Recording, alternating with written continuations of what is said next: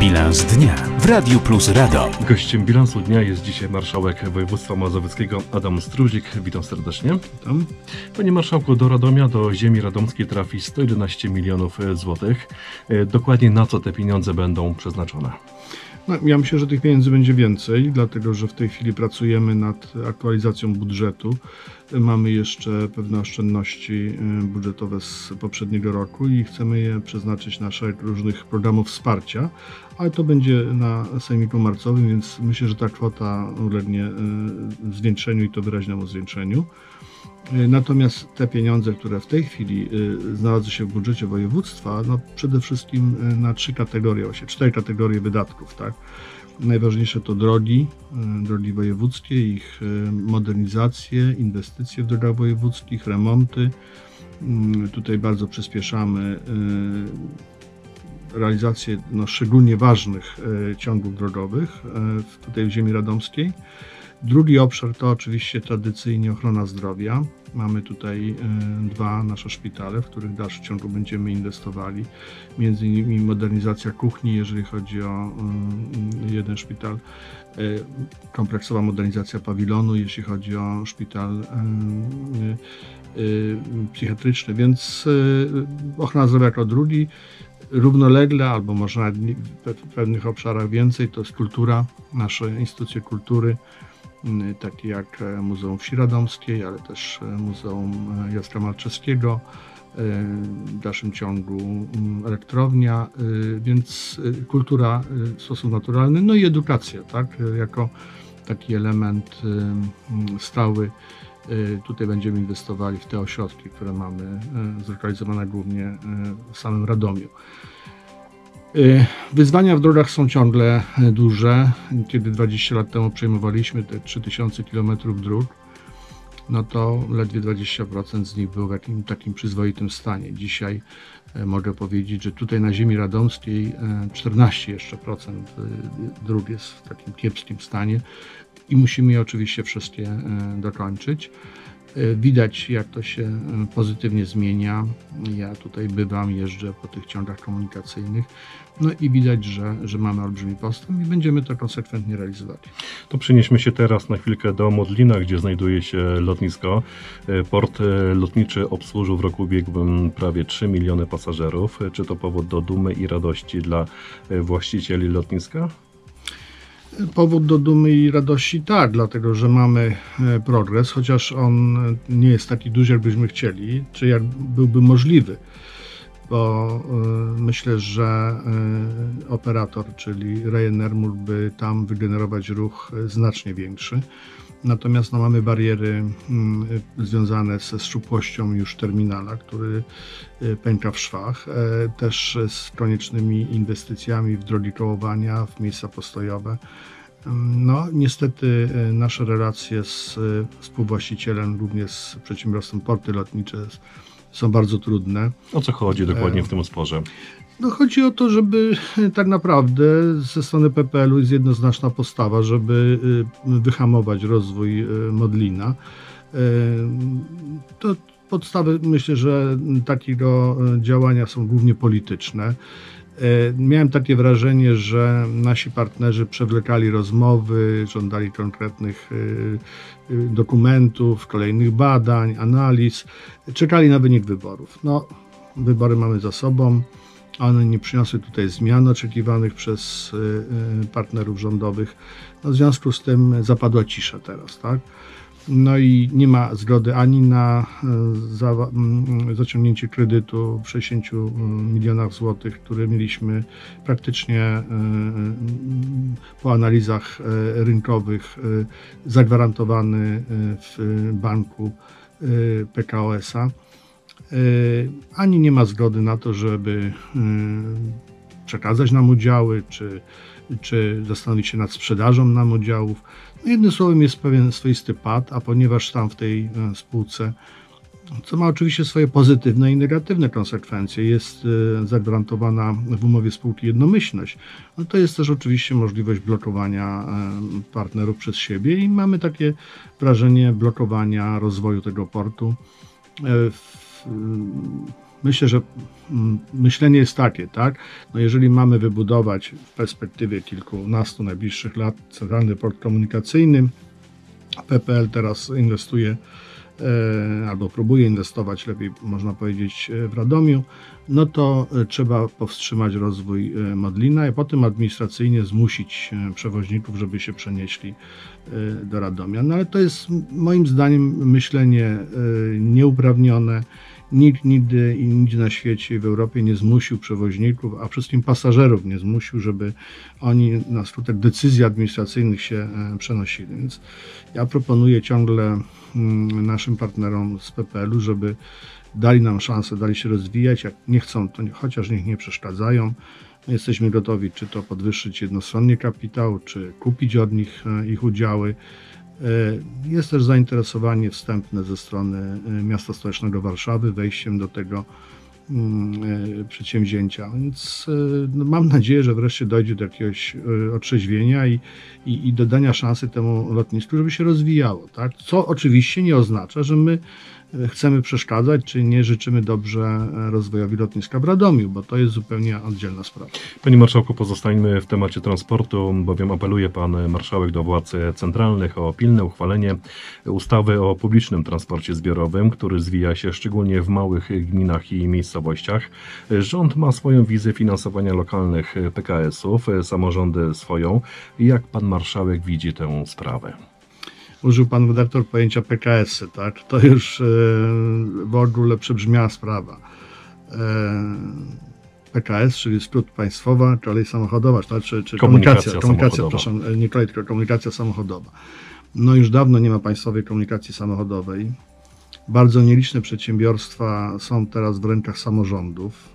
Większość z nich została sprywatyzowana i to, żeby była jasność, nie przez władze województwa, bo E, czytam tu i ówdzie, że to e, Struzik sprzedał PKS-y, to jest oczywiście nieprawda, e, bo ta decyzja mm, to były spółki Skarbu Państwa i ta decyzja należała do władz państwowych, a nie do władz samorządowych.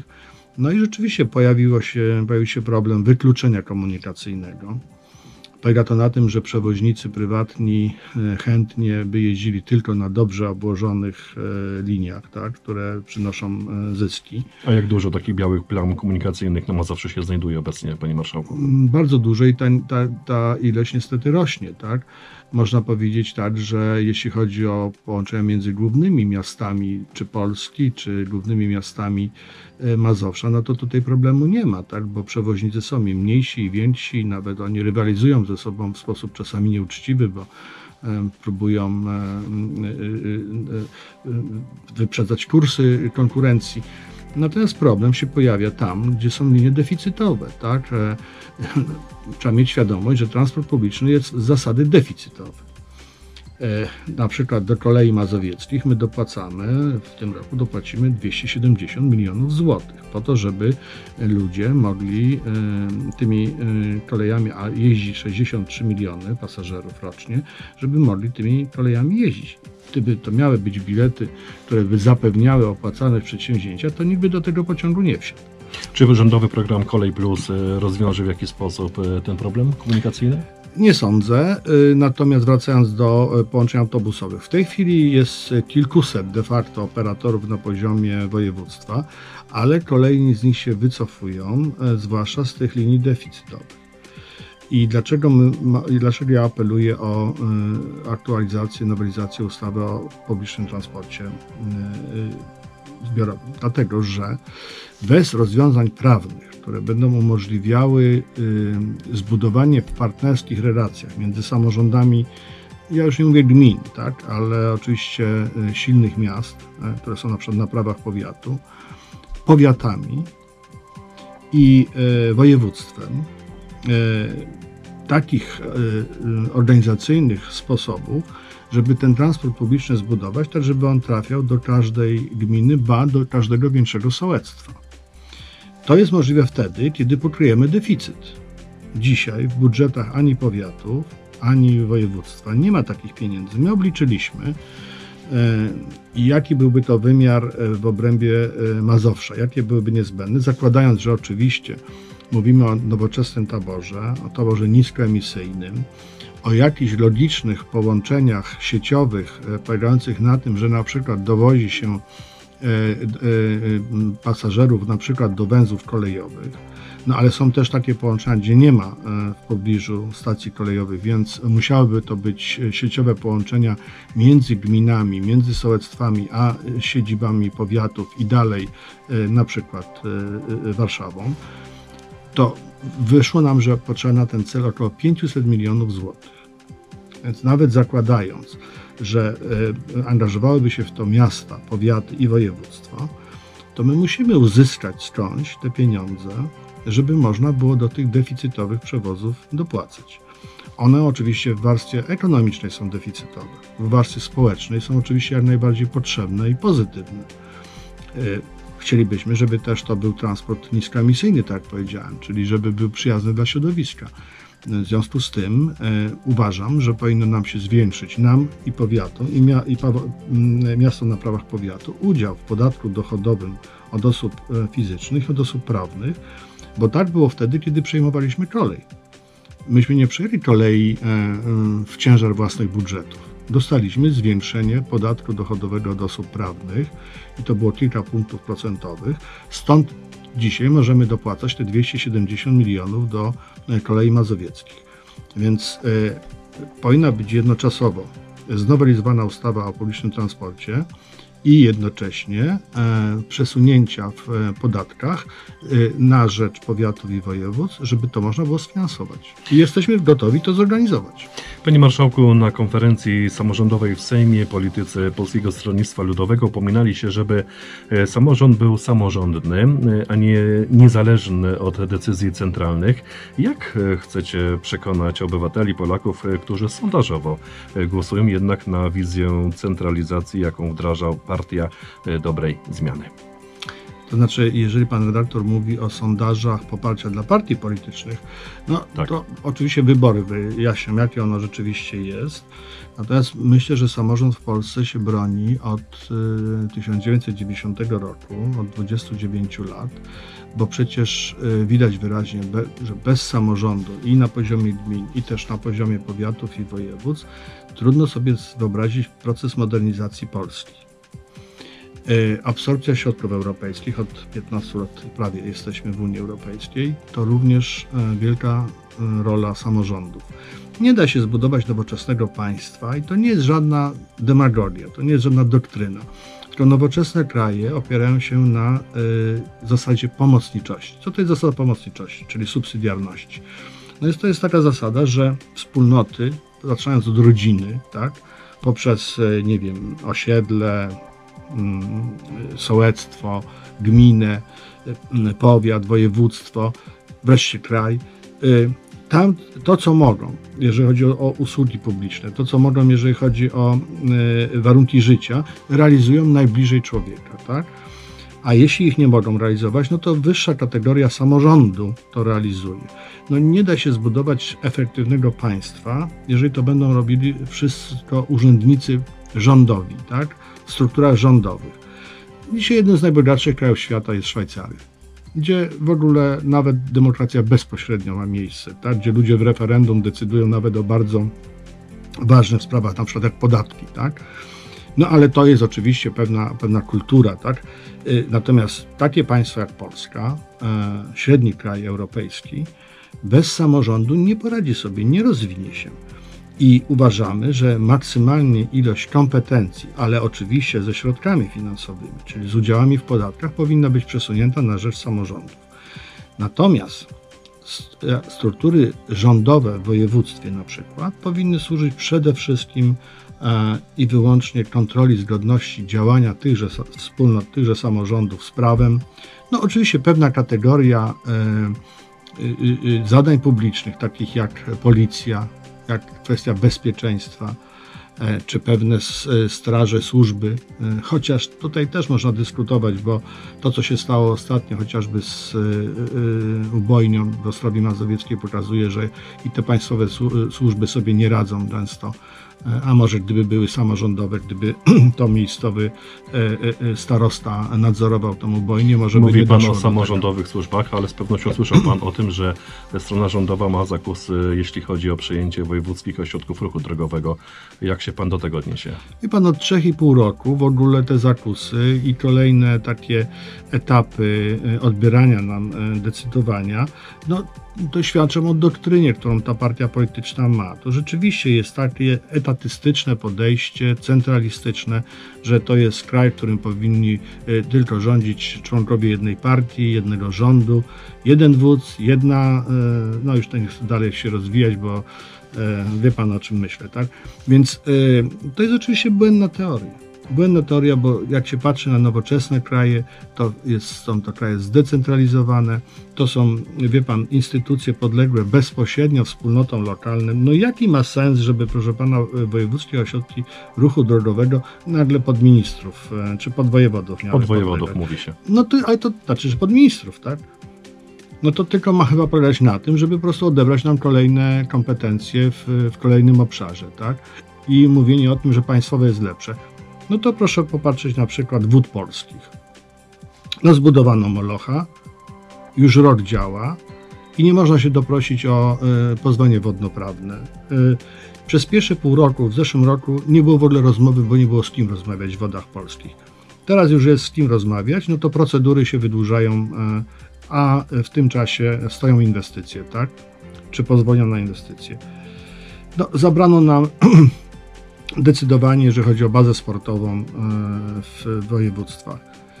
Teraz się na poziomie ministerstwa decyduje, czy zbudować w danej gminie halę sportową, czy boisko, czy nie zbudować. No to jest absurd. Ja rozumiem, że duże, wielkie inwestycje o charakterze krajowym to powinien oczywiście odpowiedzieć za to rząd, tak?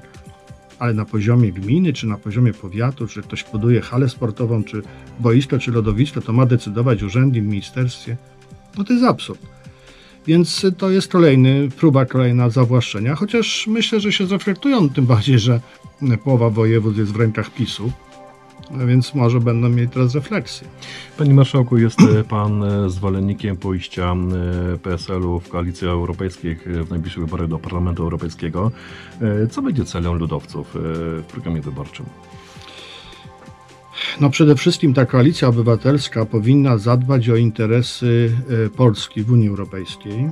W tej chwili jesteśmy w takim e, bardzo newralgicznym punkcie. Trwa bardzo e, ożywiona dyskusja, bo z jednej strony jest oferta Komisji Europejskiej budżetu na lata 2021-2027 i to jest 1,1% PKB wszystkich 20 już teraz 7 krajów, no bo planuje się już bez Wielkiej Brytanii.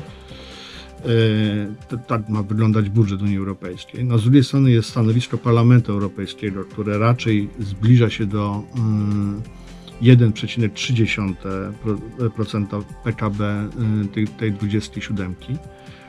I wybrani ludzie no, w Parlamencie Europejskim, bo to o nich mówimy, tych 52 teraz posłów z Polski, powinno zrobić wszystko, żeby ten budżet był lepszy.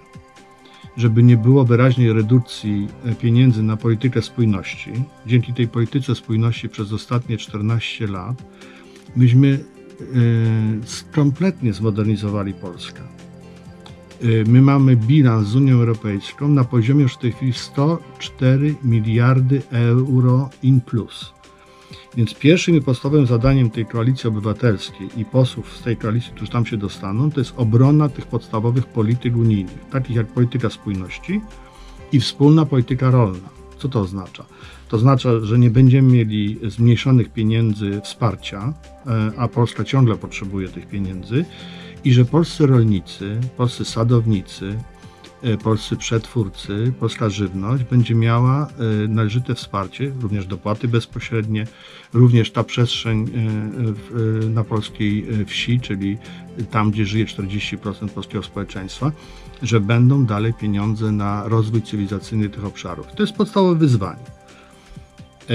No właśnie, to drugie wyzwanie to jest, to jest rolnictwo, tak? I to jest przestrzeń wiejska.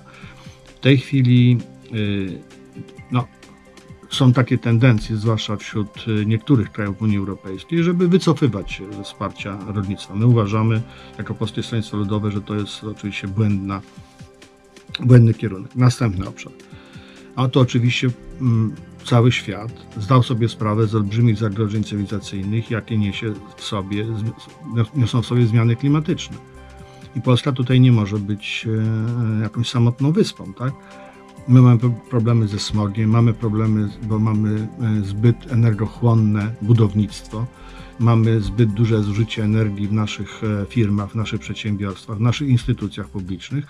Czy cała ta polityka, którą my nazywamy przejściem na zieloną stronę mocy, nazywamy takim myśleniem proekologicznym, prośrodowiskowym, no musi być w centrum naszego zainteresowania, tak? I na poziomie europejskim, ale też oczywiście na e, e, poziomie krajowym. No, trzeci element to jest bezpieczeństwo bezpieczeństwo Polski w Europie i w ogóle bezpieczeństwo całej Europy. I tutaj e, są też oczywiście problemy związane na przykład z migracjami czy z ochroną granic zewnętrznych. I e, nasi mm, e, posłowie w Parlamencie Europejskim muszą też poszukiwać rozwiązań, ale takich rozwiązań, które byłyby zgodne z takim fundamentalnymi zasadami humanizmu, humanitaryzmu. No też nie można powiedzieć, że nas los ludzi, którzy toną w Morzu Śródziemnym w ogóle nie interesuje ale trzeba znaleźć takie rozwiązania pomocy, czy to w krajach, w których oni, e, z których oni uciekają, e, i to się zresztą dzieje, ale też w uszczelnieniu granic, w takim też cywilizowanym absorbowaniu tych uchodźców, powtarzam, nie migrantów ekonomicznych, tylko uchodźców z tych miejsc, gdzie jest wojna, żeby oni no, mieli szansę przeżycia tak? i później powrotu do swoich miejsc. I też no, trzeba zastanowić się nad wspólnym systemem e, obronnym europejskim, dlatego że kiedy Stany Zjednoczone no, wyraźnie dają do zrozumienia, że za obronę tutaj e, Europy trzeba będzie płacić i to coraz więcej płacić, no to Europa się powinna zastanowić, czy części swoich pieniędzy nie przeznaczać na wspólne systemy obronne. Tak? Panie Marszałku, porusza Pan wątek europejski. E, Europejski Komitet Regionów jednogłośnie uchwalił rezolucję e, dotyczącą zwalczania nawoływania do nienawiści i przestępstw z nienawiści. W pańskiej poprawce, popartej przez wszystkich parlamentarzystów czy też kolegów polskiej delegacji, zwrócono uwagę na problem anonimowości w mediach społecznościowych, która pozwala na bezkarne szerzenie nienawiści. Co dalej będzie w tej sprawie? No przede wszystkim to e, ta rezolucja była niestety konsekwencją tej tragicznej śmierci e, zamordowanego e, naszego kolegi, e, też delegata w Komitecie Regionów, pana prezydenta Pawła Adamowicza, który był też w naszej frakcji w Europejskiej Partii Ludowej, chociaż ostatnio nie był członkiem Platformy Obywatelskiej. No, byli tam wszyscy bardzo poruszeni. Szereg różnego rodzaju wydarzeń. Zresztą na tym posiedzeniu mm, y, plenarnym Komitetu Regionów był obecny brat pana prezydenta świętej pamięci Pawła. Była też pani komisarz, czyli obecna, pełniąca obowiązki prezydenta Gdańska. Więc ta rezolucja no, miała zwrócić uwagę na to, że zbliżamy się do takich niebezpiecznych granic. Tak? Czyli żadnych konsekwencji prawnych nie będzie. Ale proszę pozwolić jeszcze chwilkę, e, że zbliżamy się niestety w tej retoryce politycznej, wyborczej, tej konkurencji politycznej do takich niebezpiecznych momentów, w których akcja wywołuje reakcję, e, w których ludzie używają coraz bardziej ostrego języka, jak to padnie na podatny grunt ludzi niezrównoważonych, czy ludzi no, nie potrafiących powstrzymać swoich instynktów, czy, czy, czy wręcz ludzi, którzy mają problemy zdrowotne, no to często się to zamienia w taką tragedię, tak, jak miał miejsce. I to nie jest tylko charakterystyczne dla e, naszego kraju. Trzy lata temu zasztyletowano jednego z posłów Partii Pracy Wielkiej Brytanii. Więc e, problem się pojawia. E, burmistrzowie, prezydenci z różnych krajów sygnalizują, że właśnie ta mowa taka niechęci, nienawiści, konkurencji no, powoduje do, nawet do bezpośrednich zagrożeń, e, czy to życia, czy, czy, czy zdrowia tych wypełniających funkcje publiczne. No, nie można oddzielić się, będąc samorządowcem, nie można się oddzielić od społeczeństwa. No może prezydent, y, premier może mieć ochronę, no ale y, na Boga, no nie może mieć ochrony każdy wójt, y, burmistrz, starosta czy, czy marszałek, tak? W związku z tym no, apelowaliśmy o to, ale też e, ja zwróciłem uwagę i muszę powiedzieć, że ta poprawka została przyjęta jednogłośnie również w Komitecie Regionu, że musimy znaleźć metodę na anonimowość w sieci. No dzisiaj bezkarnie pod nikiem tak zwanym, czyli jakimś pseudonimem, no można człowieka y, od czci wiary odsądzić, można go pomówić, można go y, no, y, poniżyć, tak? I, i, I w polityce to jest jedno, ale ten problem zaczyna się też pojawiać w szkołach, pojawiać się w środowiskach różnych, których y, mamy przypadki nawet i samobójstw z tego powodu, że ktoś jest prześladowany y, w sieci. Tak? Uda się ten problem wyeliminować? Y, Moim zdaniem cywilizacja ludzka musi sobie z tym poradzić, bo to już nie jest problem, powiedziałbym, relacji międzyludzkich, tylko to już nawet w tej chwili zaczyna się mówić o wpływie na wyniki wyborów. Tak? No bo jeżeli potrafi się kreować w tej cyberprzestrzeni różne opinie, różne e, e, e, sterować umysłami ludzkimi czy zachowaniami ludzkimi, to znaczy, że problem jest. Owszem, proszę bardzo, masz prawo do swoich poglądów, nawet jeżeli to są poglądy ekstremalne, ale głosie pod swoim nazwiskiem. I myślę, że to, że to się znalazło w rezolucji, i że to się znajduje coraz większym zainteresowanie również instytucji i firm, które prowadzą e, media społecznościowe, no bo one też widzą, że zaczyna się dramatyczny problem, no to w końcu znajdzie to rozwiązanie. Także e, pewnie będzie taka taki moment, w którym po prostu, no jak nie, e, nie będziesz zarejestrowany z imienia, nazwiska e, w, w sieci, to nie będziesz mógł tam po prostu e, wyrażać swoich opinii. No i, i tu nie chodzi o demokrację, tak? bo demokratycznie to możesz wyrażać, tylko nie anonimowo. Panie Marszałku, wróćmy do Radomia, bowiem wicemarszałek Senatu Adam Bielan e, zaapelował do Pana za naszym pośrednictwem e, o jak najszybsze podjęcie pracy przy tworzeniu oddziału klinicznego na potrzeby kierunku lekarskiego na Radomskim Uniwersytecie. E, są szanse, by taki oddział powstał w Mazowieckim Szpitalu Specjalistycznym na Radomskim Józefowie? Znaczy ja nie bardzo wiem, o co pan marszałek apeluje do mnie, bo to w ogóle w sposób naturalny my mamy kontakty tutaj z uniwersytetem. E, myśmy zadeklarowali. E, Pan marszałek jest członkiem Rady Społecznej Uniwersytetu. E, myśmy zadeklarowali możliwość na bazie naszych szpitali, nie tylko szpitala na Józefowie, ale na przykład i szpitala Krychnowickiego, bo takie specjalności też w przyszłości będą, możliwość funkcjonowania oddziałów o charakterze klinicznym na ustalonych e, zasadach, e, zgodnie z umowami. My mamy na przykład bardzo dobre doświadczenia, jeżeli chodzi o tego typu współpracę w Warszawie. Szpital Brudnowski to jest podstawa funkcjonowania drugiego Wydziału Lekarskiego Uniwersytetu Medycznego Warszawskiego. Zresztą też tam jest Centrum Medycznego Kształcenia Podyplomowego, ma swoje kliniki, ma też kliniki Instytut Żywności i Żywienia. Więc to jest oczywiście możliwe, więc tutaj my jesteśmy bardzo otwarci. Natomiast jeżeli pan marszałek Bielan mówi o przekształceniu e, szpitala w szpital kliniczny, no to to nie jest możliwe, bo to jest niezgodne z prawem. Oddział? Ale wie pan, jeden oddział to nie zmienia w ogóle postaci rzeczy, dlatego że w tej chwili oczywiście są przyjmowani e, słuchacze na pierwsze lata, gdzie nie ma zajęć klinicznych. Od trzeciego roku, e, na, czyli za rok już, e, na Wydziale Lekarskim e, za, zaczynają się zajęcia kliniczne. Sam jestem absolwentem e, Akademii jeszcze wtedy medycznej w Łodzi.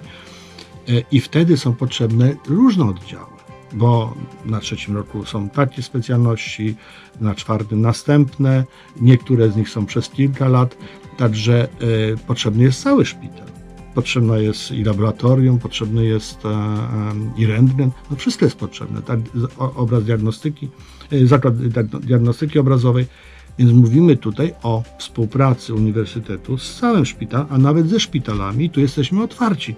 Natomiast musi to zostać uregulowane na zasadzie obopólnej współpracy, zasad, y, na jakich zasadach y, jest też powoływane kierownictwo poszczególnych oddziałów. No, można je nazwać klinikami, ale nie ma takiej potrzeby, tak? E, będą to oddziały kliniczne, tak? Natomiast przekształcenie całego szpitala w klinikę nie jest możliwe, bo e, e, prawo na to po prostu na tym etapie nie e, zezwala.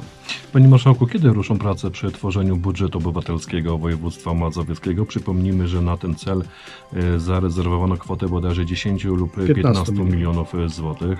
Kiedy rozpoczną się de facto prace w tym zakresie? Znaczy prace już się rozpoczęły, bo to są prace głównie realizowane przez mój urząd no bo trzeba teraz znaleźć odpowiednie mechanizmy, y, no bo budżet obywatelski nawet w tak dużym mieście jak Radom, 220 tysięcy mieszkańców, to jest do zrealizowania. No to no, teraz sobie wyobrazić, jak on ma być realizowany y, na poziomie 5 milionów 300 tysięcy obywateli województwa mazowieckiego. Czyli co, dzielimy Mazowsze na 5 subregionów i do każdego po 3 miliony? Y, tego jeszcze nie przesądziliśmy, natomiast musimy znaleźć w miarę sprawiedliwy system. Y, mamy nowy podział statystyczny. I oprócz tych dwóch obszarów, e, tak zwanych NUCów drugich, mamy też NUCy trzecie, czyli grupy powiatów. I raczej myślimy w takich kategoriach, żeby to te grupy powiatów dostały odpowiednie kwoty, i obywatele w tych grupach powiatów, tam gdzie też zresztą są realizowane RIT-y na przykład, czyli regionalne inwestycje terytorialne, mogły w pewnych kategoriach oczywiście usług e, e, za, zaproponować, bo też tam są takie rozwiązania prawne polegające na tym, że na przykład to nie mogą być zadania, które są zadaniami województwa, tak? Czy to nie mogą nasze instytucje realizować? Czyli kiedy Ale one mogą się włączyć. Myślę, że w tym roku, y, no po to zarezerwowaliśmy pieniądze, żeby mniej więcej w, w, w czerwcu y, już ten system przedstawić, tak żeby y, no, można było to mm, przekonsultować, no i żeby pojawiły się projekty i żeby można do końca roku je zrealizować. Panie Marszałku, jaki jest sens, czy też przesłanie tworzenia, czy też utworzenia w naszym mieście, w Radomiu rejonowego czy też regionalnego ośrodka dla e, osób e, intelektualnie upośledzonych. E, taka idea pojawiła się w ostatnim czasie, tak? No wie pan, są pewne kategorie usług publicznych i pewne kategorie i członkowie naszych wspólnot, którzy wymagają niestety wsparcia, mm, niezależnie od tego, w jakim wieku są.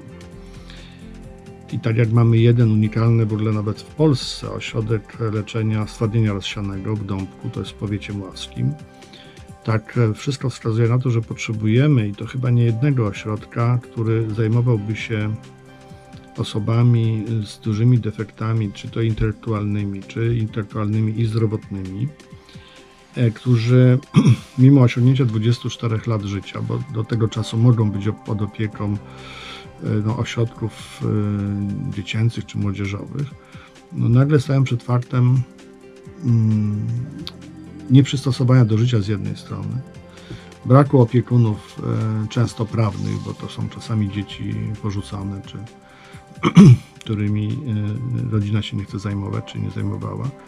No nie są zdolni do samodzielnego życia, w związku z tym no, cywilizowany kraj cywilizowany naród musi o nich też pamiętać i taki pomysł tutaj powstał. E, pan marszałek e, Rajkowski e, wspólnie z panem marszałek Lanz nad tym pracują. Też wiem, że są kontakty z panem prezydentem mm, Witkowskim, więc jeśli będzie tutaj wola miasta i znajdziemy odpowiednią formułę i prawną, i materialną do tego, żeby taki ośrodek utrzymywać, no to oczywiście y, y, uważam to za ideę słuszną, tak? bo no nie możemy jako cywilizowany naród zapominać o tych y, najsłabszych.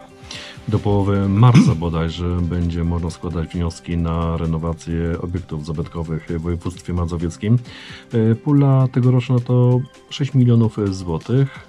Kto będzie mógł starać się o takie fundusze?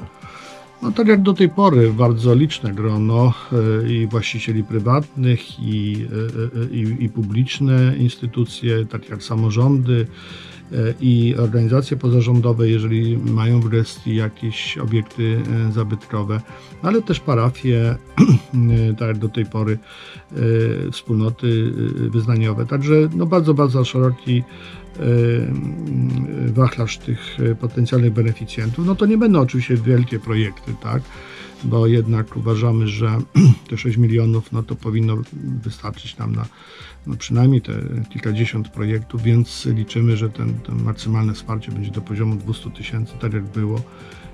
Ale to też jest ważne, prawda? Bo jeżeli ktoś sam potrafi zgromadzić pewne środki, no dostanie tę maksymalną kwotę dofinansowania, e, to może na pewno zrobić jakiś etap rewitalizacji, czy uratować jakiś obiekt ruchomy, Mm, czy y, y, rozpocząć pewien proces y, ratowania zabytków. Ciągle mamy ich bardzo dużo i ciągle mamy mm, tutaj duże oczekiwania i społeczne, ale też no, no chcemy ratować to, to dziedzictwo narodowe, kulturowe. Na pewno jak zwykle szereg parafii wystąpi o to, bo tutaj potrzeby są olbrzymie, a często parafie są, no powiedziałbym, słabe ekonomicznie, tak, bo dzisiaj Y, wielu parafii, które tam są poniżej tysiąca y, członków, no to bardzo ciężko jest utrzymać parafię i jeszcze na przykład ratować zabytki, więc my to rozumiemy, traktujemy dziedzictwo też chrześcijańskie, katolickie, ale też innych wyznań, tak, bo, bo przecież y, jeśli pojawią się projekty, czy to z obszaru Y, ewangelików, protestantów czy, czy, czy, czy, czy innych wyznań, to, to też e, będziemy chętnie e, pomagali po to, żeby to dziedzictwo ratować. Panie Marszałku, 14 luty to Dzień Świętego Walentego, patrona zakochanych, czego Pan Marszałek życzy wszystkim e, sobie życzliwym. No to trochę taka amerykańska moda, która tu do nas przyszła. Wie Pan, kochać drugiego człowieka, kochać własną żonę, partnerkę, sympatię powinno się przez cały czas. No, pewnie 14 lutego jest dobry y, moment, żeby jej to szczególnie y, uzmysłowić i pokazać. A czego ja życzę? No życzę w ogóle generalnie ludziom altruizmu, życzę, żeby mieli do, do siebie pozytywny stosunek, żeby y, poszukiwali tego, co w życiu miłe, dobre, przyjemne. Miłość jest takim elementem, który uszlachetnia życie, tak? No trudno, niektórzy mówią, że bez zdrowia się nie da żyć, ale bez miłości też się nie da żyć. No i bez szczęścia się nie da żyć. Więc życzę wszystkim zdrowia, szczęścia i miłości. A tego życzył marszałek Mazowsza Adam Struzik. Dziękuję serdecznie za to Dziękuję spotkanie. Bardzo. Dziękuję bardzo.